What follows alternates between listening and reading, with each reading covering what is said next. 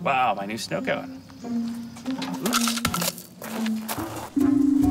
Hey, Bill. Hey, Jeff, guess what I got? Um, a haircut? Uh, yes, I did, but actually I want to talk about this new Snowcone. It's an edge processing computing device. It has data transfer and data storage. It's about the size of a tissue box. Bill, I think you actually had me at edge computing. It's got four gigs of RAM, uh, two virtual CPUs, eight terabytes of usable storage on there. Awesome. It runs uh, Greengrass. It can act as an IoT gateway. It's got Wi-Fi and Bluetooth. Comes preloaded with DataSync.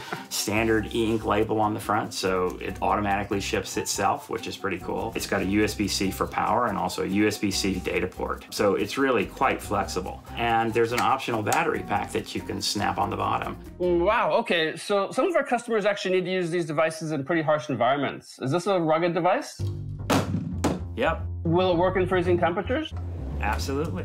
How about in the desert? Yep, really hot environments, even like next to a welder even when it's too hot to touch. Could we take it to a research ship using a drone? Yep, because it's four and a half pounds, you can snap it right on a drone. In fact, okay. uh, we were using it today to create a 3D model for the best arrangement for solar panels. Now, what about hospitals or industrial sites? That also. Tactical edge locations, transportation, logistics? Yep, all of those. All right, so the data and the device, they're both secure? Just like a snowball, the data is multi-layer encrypted, and so companies like Deluxe, for example, with their OneVision, can use it for secure movie distribution and feel secure about it in transit. So it seems actually like this would be useful in a lot of places the public sector, yes. defense, intelligence, and even disaster relief efforts. Yeah, it does a whole bunch of things. It's great for lightweight analytics on the edge. It can act as an IoT hub, uh, machine learning, where you're doing processing of data in real time. Ooh. It's got containers and EC2 instances on it, Ooh. and it lets people connect to the cloud really easily. So what's the difference between a Snowcone and a snowball?